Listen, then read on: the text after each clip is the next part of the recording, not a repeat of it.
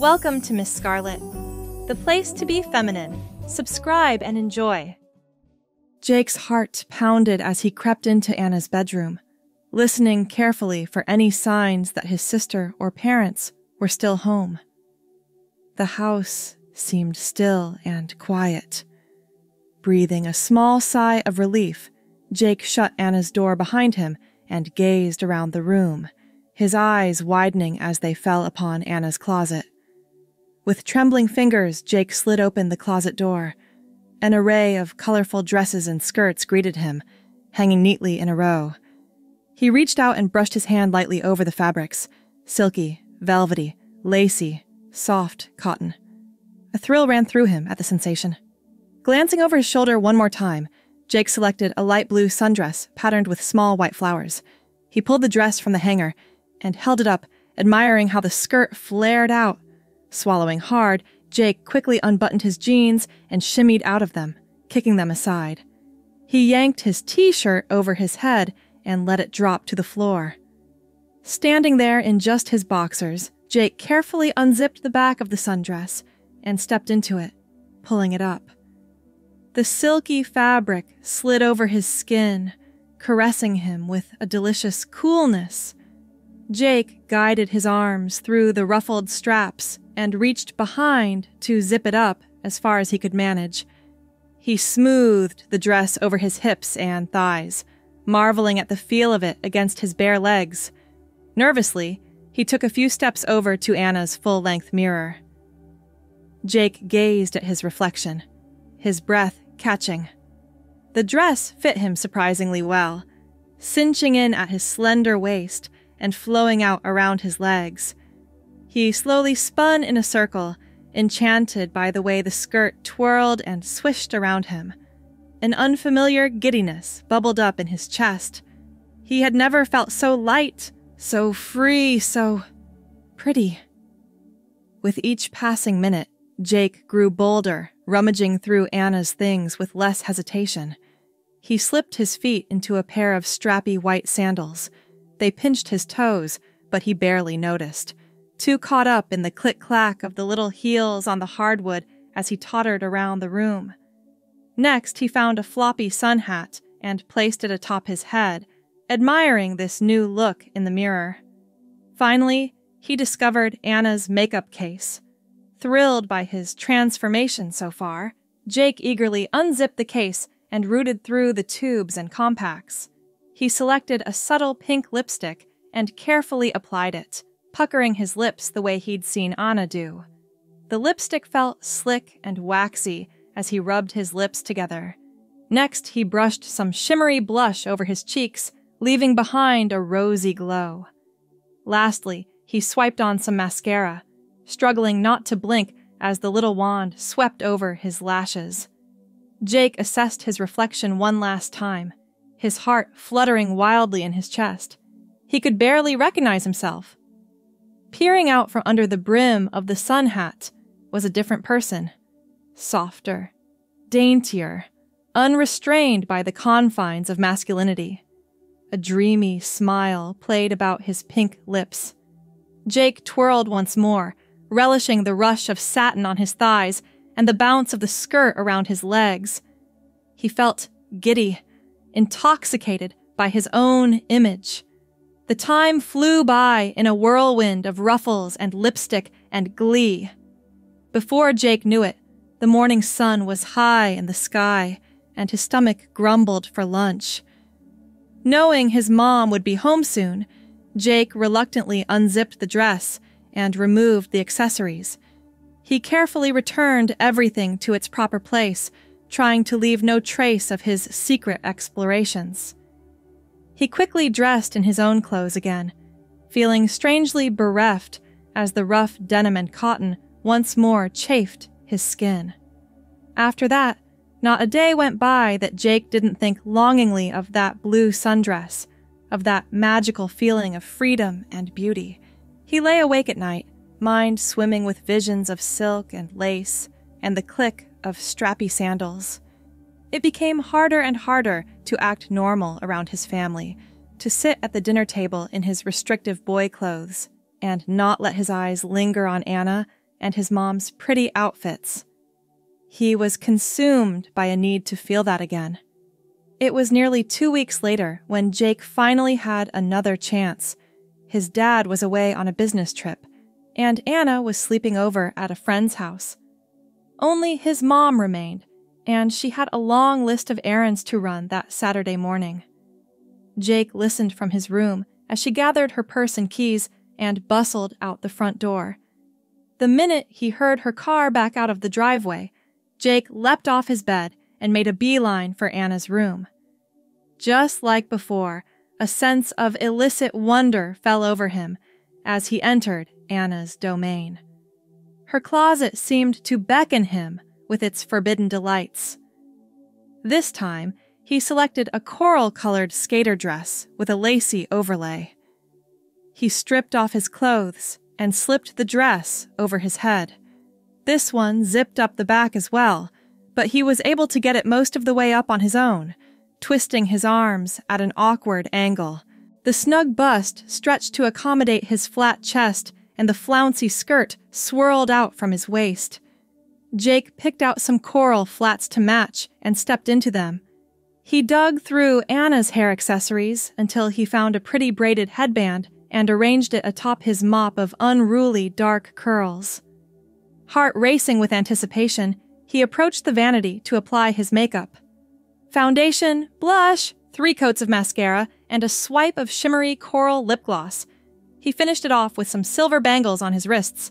Perched on the poof in front of Anna's mirror, Jake lost himself in his reflection, in the beautiful stranger gazing back at him.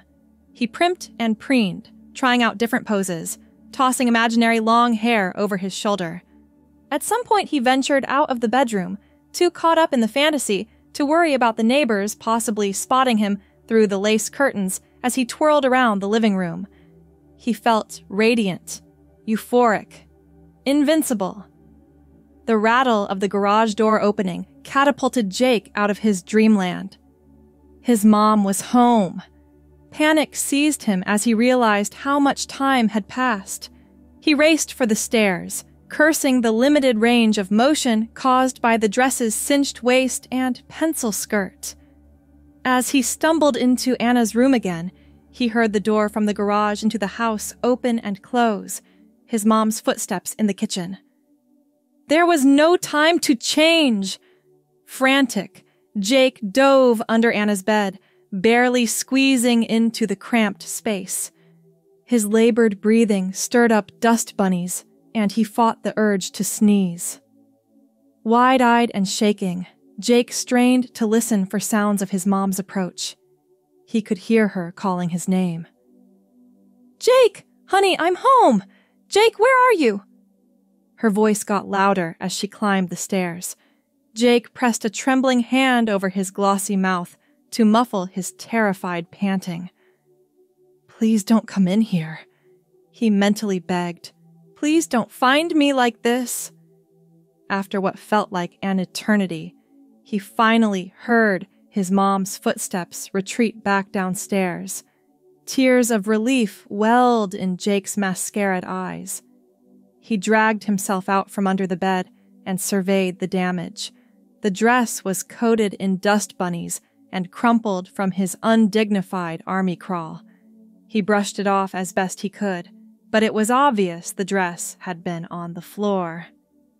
Nose wrinkling at the sour taste of adrenaline in his mouth, Jake unzipped and stepped out of the dress.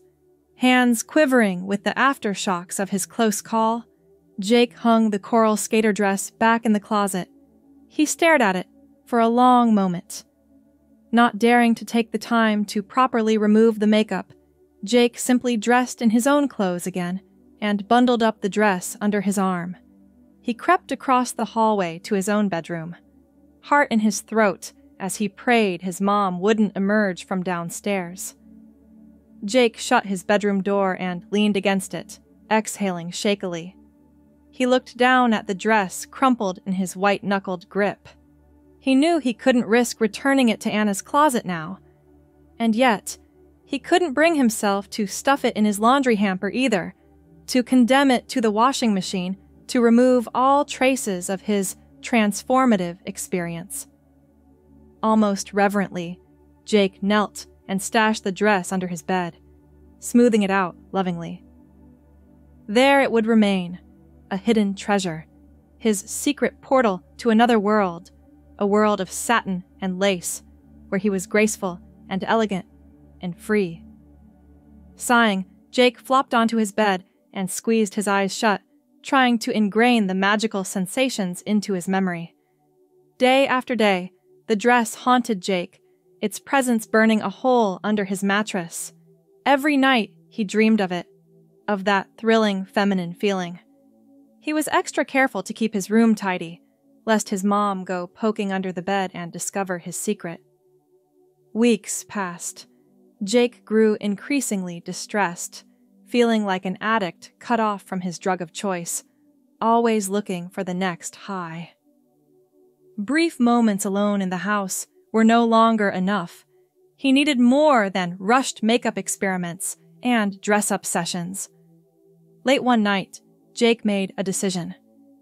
Determination swelled in Jake's chest as he finished counting out the bills from his birthday stash. He had been saving for a new video game, but this was more important. His hands shook as he stuffed the cash into his wallet. This was really happening. He was going to buy his first dress. The thrift store was on the other side of town, far from prying eyes who might recognize him. Jake's heart raced as he stepped inside, the tinkling bell on the door sounding unnaturally loud to his paranoid ears. The cashier, an older woman with cat eye glasses, barely glanced up from her crossword puzzle.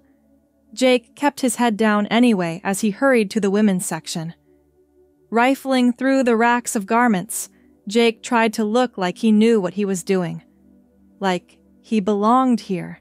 He gravitated to the dresses, letting his fingers brush reverently over the varied fabrics and textures.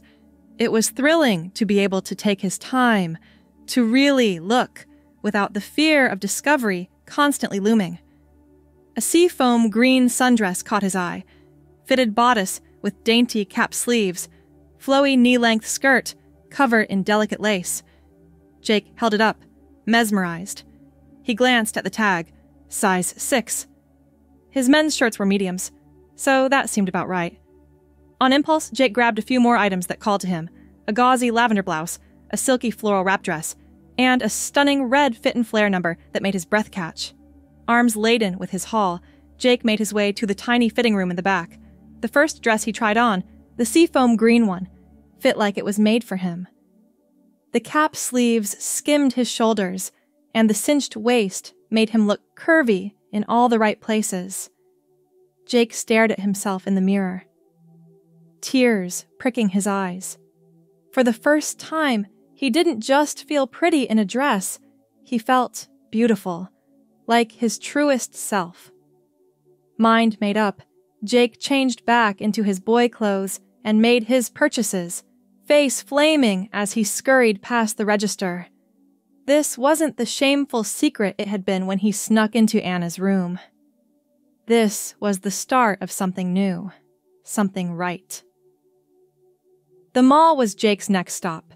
He beelined for the cosmetics department of a big chain store, determined to get some proper makeup of his own.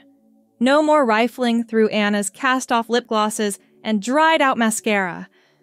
A spray tanned, aggressively friendly sales associate in a black apron approached him as he eyed the colorful displays in dazed indecision. Can I help you find anything? She chirped. Jake froze like a deer in headlights.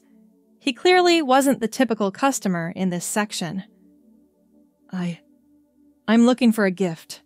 For my girlfriend. Jake stammered, the lie tasting bitter on his tongue. Why couldn't he just tell her the truth? That the makeup was for him. But old habits and fear were hard to shake off. The sales associate, whose name tag read Amber, nodded sagely. I've got you covered. Come on, I'll show you our best sellers. Any idea what shades she likes? In a whirlwind of brushes and compacts and lipstick tubes, Jake found himself perched on a stool as Amber demonstrated product after product on the back of his hand, chattering all the while. This foundation is amazing. It'll make her skin totally flawless, but still look natural, you know? And this mascara, wow, talk about volume, really makes the eyes pop. Okay, and you've got to get her this eyeshadow palette. It's got the perfect mix of neutrals and some fun pops of color. Jake's head spun as he tried to keep up, to pick products he thought would look good with his skin tone and features.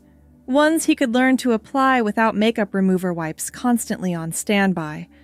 He hoped he wasn't going overboard as the pile of cosmetics steadily grew, but he couldn't help himself.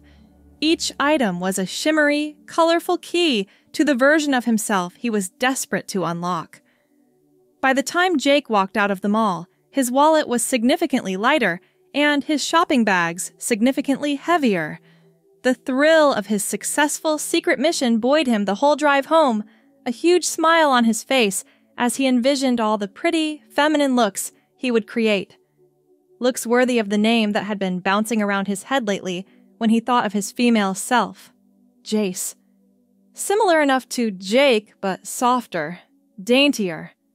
Just like he felt in a dress and heels. Over the next few weeks, Jake, or Jace rather, threw herself into perfecting her costuming and makeup skills.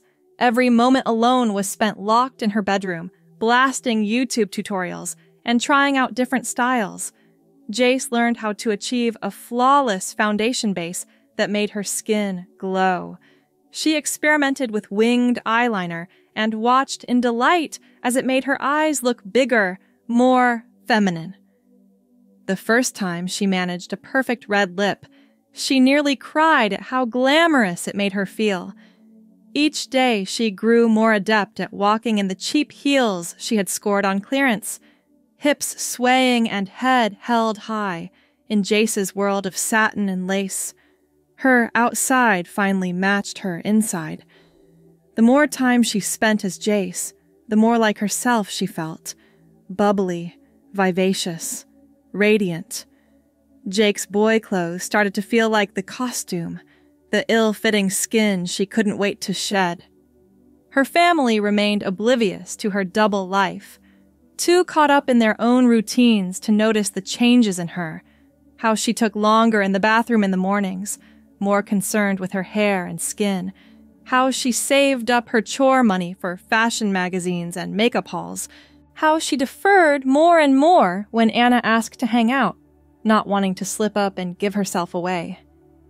The idea came to Jace one evening as she touched up her lip gloss and adjusted her skirt, about to change back into Jake's clothes before dinner. Her eyes fell on a flyer peeking out of her backpack the upcoming spring fling dance at school.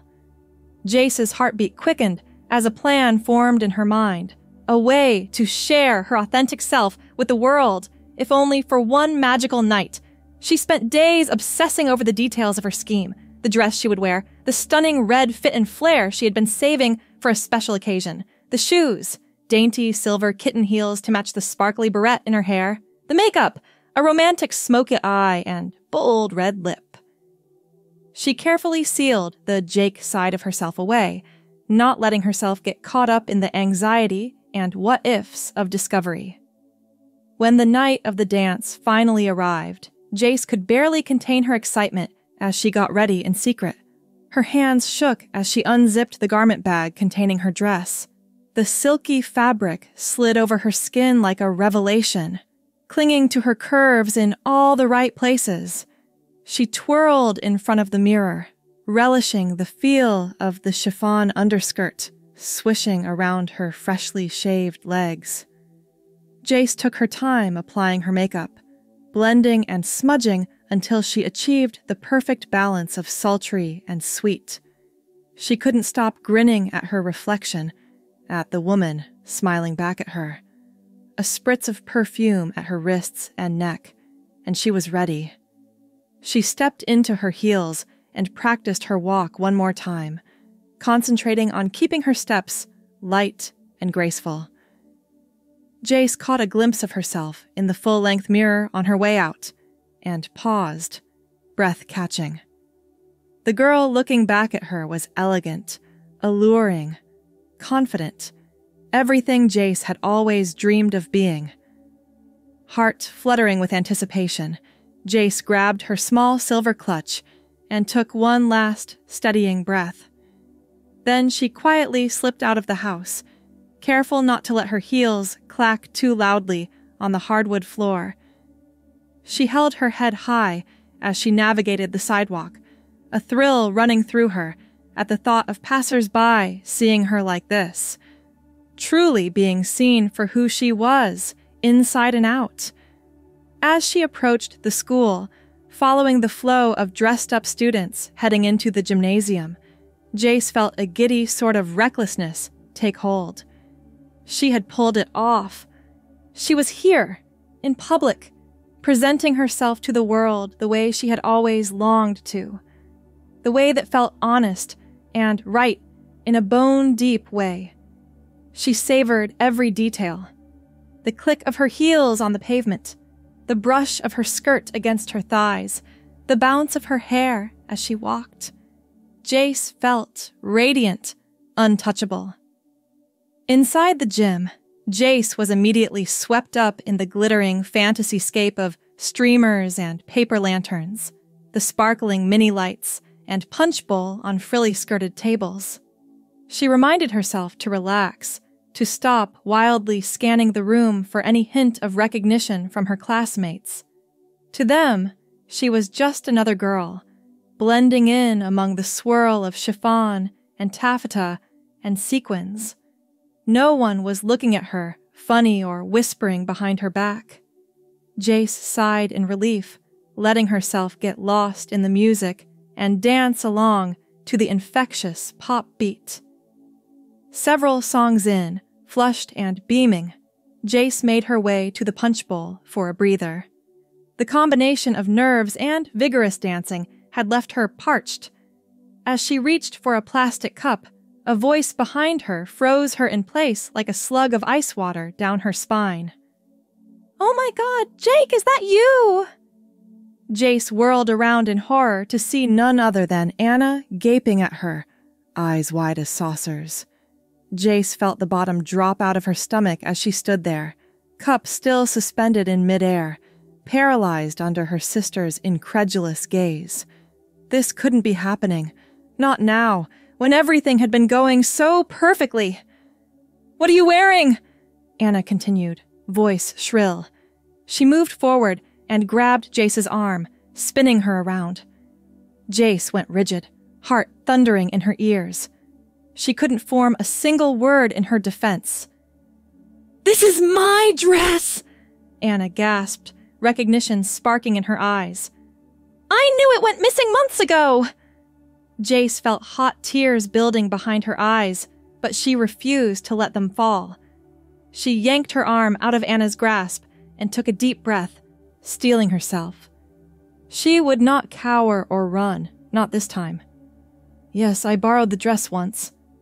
Jace said with a calmness she didn't feel, her hands clenched around the skirt's full hem. But this one is mine. I bought it myself. Just like I bought this makeup, these shoes, and everything else I'm wearing. Jace met Anna's gaze dead on, feeling untold emotions welling up inside her. But beneath it all, steely resolve. She was done hiding, done pretending. This is me, Anna. Jace said softly, gesturing to her outfit, her whole self. The real me. I've been dressing up and exploring my feminine side for months now. I can't keep it a secret anymore. She swallowed hard against the lump in her throat. You have no idea how amazing it feels to be able to express myself this way. To feel like my outsides match my insides. Like I'm not two halves at war anymore. Her eyes pleaded with Anna to understand. Anna was quiet for a long moment, staring at Jace with an unreadable expression. Jace held her breath, simultaneously terrified and hopeful. This was it, the moment of truth. Her sister's reaction would change everything. Finally, Anna exhaled slowly, brow furrowed. Wow, Jake, I. I had no idea you were going through this. She bit her lip, seeming to struggle for words. It's Jace, actually. Jace interjected softly. That's the name I've chosen. For when I'm like this, I mean. She gestured to her decidedly feminine presentation. Anna nodded slowly, still looking a bit shell shocked, but also like she was trying to process, to understand. Okay, Jace, she said, carefully, trying out the new name. She took a tentative step closer to Jace, reaching out to finger the silky fabric of the dress. This is a lot to take in, Anna admitted. But I can see how happy it makes you, how much more confident and comfortable you seem. A small smile quirked her glossy lips. I have to admit, you wear that dress better than I ever could. Jace's heart soared so fast she felt dizzy with it. Tears sprang to her eyes again, but this time from sheer overwhelming relief and gratitude. Thank you, she whispered, voice choked with emotion. You have no idea how much that means to me. Overcome, she pulled Anna into a hug, not caring that she was probably squishing the delicate chiffon. Anna hugged her back tightly, and Jace let out a shuddering breath, tension draining from her body. She pulled back after a long moment, sniffling and dabbing carefully at her eyes so as not to smudge her liner. Anna squeezed her shoulder and smiled at her, warm and genuine. I'm glad you told me, Anna said seriously, looking Jace in the eye. I'm sorry if I ever made you feel like you couldn't share this part of yourself with me, but I'm here now and I've got your back. Always. Jace nodded, swallowing back another surge of emotion. She knew they still had a lot to talk about, that this was only the first step on a long road. But for now, hearing those words of acceptance from her sister, she felt invincible, like she could handle anything the future threw at her. Now come on, Anna grinned, looping her arm through Jace's and pulling her towards the dance floor. Let's go show this dance what the stylish sisters are made of. Jace laughed and let herself be tugged along, steps light and smile huge. For the first time, she didn't feel any flicker of fear or self consciousness. As she lost herself once more to the music and the magic of the night, surrounded by glitter and balloons and her sister's unconditional love, Jace finally felt free. Free to be unapologetically, gloriously herself.